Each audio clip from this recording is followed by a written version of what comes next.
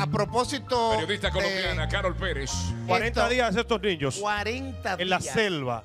Increíblemente, un perro que ahora está desaparecido, ojalá lo puedan encontrar, el perro Wilson, un perro especialista en Fue, fue de quien personas. detectó. Oye, esto, Sí, Carlos, Carlos. sí. Ven, que esta historia es. Wilson fue quien dio los pasos pertinentes junto con la ¿Qué, qué comunidad. raza es el perro? No recuerdo si es pastor alemán. Debe ser pastor. El perro es- lo, lo entrenaron especialmente para búsqueda de rescates y y personas. fue quien encontró. encontró, él dio los pasos para Los que hallazgos. para- exactamente para que los indígenas y los militares encontraran estos niños que increíblemente per- permanecieron 40 días en la selva amazónica de la parte colombiana.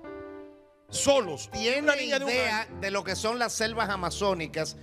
Por lo menos una someria debe saber lo peligrosa, inhóspita, a- Animales salvajes.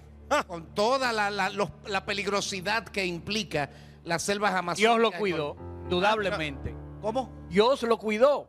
No, 40 sin dudas. días solo. Sin dudas. Pero ven acá. la historia es Sin un, duda. da un ¿Qué, qué edad oscilaban los niños? La más grande tiene 13. La 13 niña que está aquí grande. tenía 11 meses cuando se perdió y cumplió el año en la selva. Ay, Dios. Y ellos tuvieron la, la habilidad de poder comer de los árboles que estaban allí. No se sabe, aplicarán en su momento cómo pudieron sortear la situación de los animales salvajes y lo inhóspito de la selva, porque tanto en la noche hace mucho frío como en el día hace un calor intenso. Lo que Y, el agua y eso. Es- eso lo- ellos lo sabrán explicar en su momento, porque nadie, científicamente es improbable que hayan podido sobrevivir sin que ellos. Déjame ver Pero qué ¿cómo- dice. cómo- a ver qué dice ahí con el perdón. ellos ahí? Vamos a ver qué dice el señor aquí.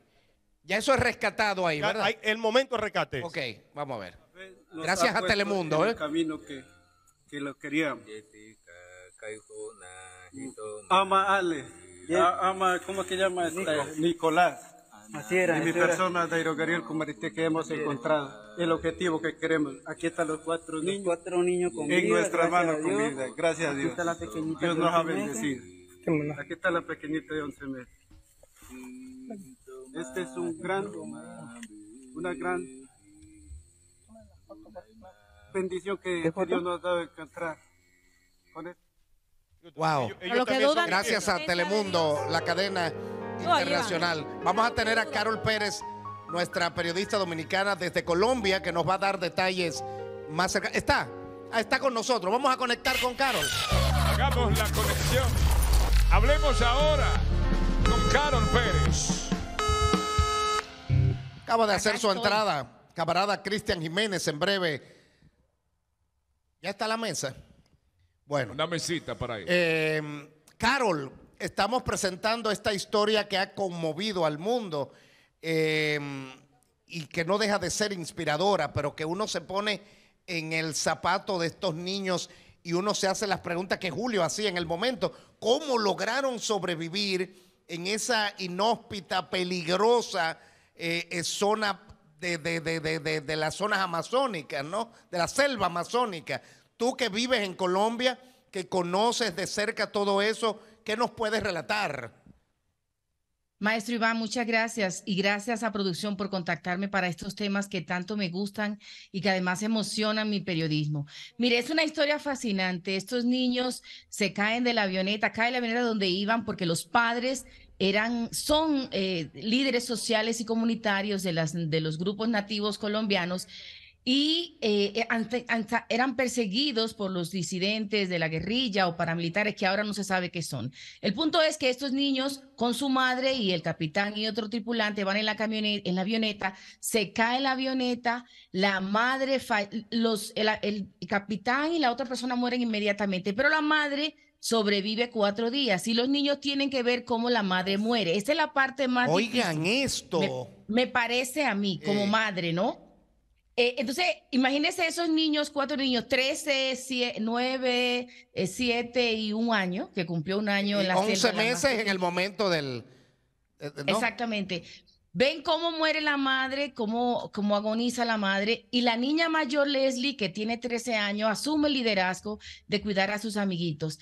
Lo que cuenta la niña es, y lo- los dos más grandes, que en la avioneta había una harina que se usa acá, que es como un condimento, un- un- como un pan, ¿no? De harina para comer, y que ellos cogen esa harina y que con eso también sirvió para alimentarse y se comían una ración al día. Es decir, óigame la inteligencia natural de esta niña. Pero además descubren que con unas botellitas de gaseosa, ellos cogían el agua, como ustedes saben, en la selva es como páramo, ¿no? Y hay aguas estancadas, natural en la estancada por la lluvia. Y que con esa, con esa botellita ellos tomaban el agua, cogían el agua para mantenerse hidratados. Es decir, qué capacidad adquirieron esos niños para sobrevivir. Claro, hay que, hay que también darle el crédito que son niños del campo. Si son niños citadinos como los nuestros, se mueren al otro día. Pero estos niños, al, tener el, expertise de ser niños de campo y además de las comunidades nativas, pues tienen esas habilidades para sobrevivir y son sumamente resilientes. Le escucho, maestro Iván. Bueno, eh, estamos impactados todos aquí. La reacción del, presidente, del presidente Petro, las autoridades que han dicho, Carol, ¿qué se ha dicho en torno a este tema? Si ya los niños fueron sacados del, centro de cuidado sanitario donde lo llevaron el sábado, el viernes en la noche. No, en las informaciones médicas, los partes médicos dicen que van a estar por lo menos tres semanas en el hospital. Los niños están sumamente deshidratados y sumamente desnutridos. Eh, si ustedes ven las fotos, sobre todo el varoncito, parece que fue el que más, pues a todo le afectó, pero parece que al varoncito le afectó tanto que se desnutrió tanto que se le iba la cara casi carabélica. Entonces, eh, durante tres semanas, que es más o menos el tiempo prudente que dice las autoridades médicas, van a estar en ese proceso de recuperación, pero no solo de recuperación médica y de recuperación de la salud física, sino también de la recuperación de la salud emocional. emocional. Recordemos que se tienen que irse primero del territorio porque persiguen a sus papás. Ese es la primera, el primer trauma, ¿no? Cambiar de territorio. Parece de película, ¿no?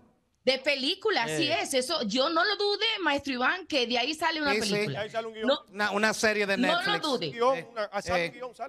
Eh, pero óiganme esto, entonces después en la avioneta se cae, ven a agonizar y morir a la madre. Después, durante 40 días sobreviviendo, Dice también la niña que ellos hacían cambuches con hojas de plátano para poder, para poder eh, guaridarse, porque eh, el frío de la noche en, la selva, la selva es inhóspita, la selva es, es hostil, ¿sí? Es decir, en el día hace mucho calor, como usted te dice, en la noche lluvia, el páramo, entonces a cambuches, eso también dio pie a que, a que lo pudieran encontrar, porque esos residuos de cosas fueron lo que el perro fue ah, descubriendo. Los rastros, correcto. exactamente. Eh, y, pero otra cosa importante, imagínese que el, dispositivo militar que, que, ordenó el presidente Petro para la búsqueda de estos niños, eh, iban tirando cosas de comida, ¿no? Eh, como paquetes con cosas para que los niños comieran. Y, es, y ellos lo fueron encontrando. Y entonces oh. todo eso también es, una película. Yo me emociono y perdónenme que me emocione y pierda la objetividad, pero es que es una cosa como tan, tan intensa. Es válido. Entonces todo, sí, todo eso, todas esas eh, eh, todas esas huellas, para decirlo así, y todos esos residuos fueron lo que fueron dando pie a que el perro Wilson, que está desaparecido, ah. fuera encontrando y así Esos rastros ayudaron al hallazgo, ¿no? ¿Hay alguna pista de Wilson, Caro? A ver si el presidente... ¿Alguna pista de Wilson? hasta ahora hasta ahora no hay ninguna pista, lamentablemente, pero una cosa importante también y es la ayuda de los nativos de la región. Los grupos los grupos indígenas de, de, toda esa parte, que como ustedes saben, aquí hay una gran fuerza indígena en Colombia, fueron también aliados porque ellos sí conocen el territorio. Es decir, yo le pongo este ejemplo sencillo y, y, que lo dejo ahí con la reflexión. Como ustedes deben saber, los guerrilleros estaban internados en esas selvas durante muchos años y los militares colombianos nunca, no pudieron encontrarlo y, y, permanecieron ahí muchísimos años. Imagínense para cuatro niños cómo debió ser difícil, ¿no? Dios. Y que los militares que se pudieran sobrevivir. Dios estuvo ahí. Sin duda que Dios. No, Amén. tenemos, bueno, tengo que hacer esta pausa y voy a volver contigo en un minutito. El show sale para todo. Carol todavía. Carol Pérez, ahí está. a Carol. Sí, señor. Aquí estoy. Que, tenía Dio y, Mariano tenían. Tenemos dos minutos. Vamos a ver cómo a lo mí podemos. Me gustaría saber cuál es el presente y el futuro de esos niños. Es decir, en qué condiciones están actualmente, cómo lo tienen y cómo se proyecta el futuro de ellos a partir de ahora. Carol.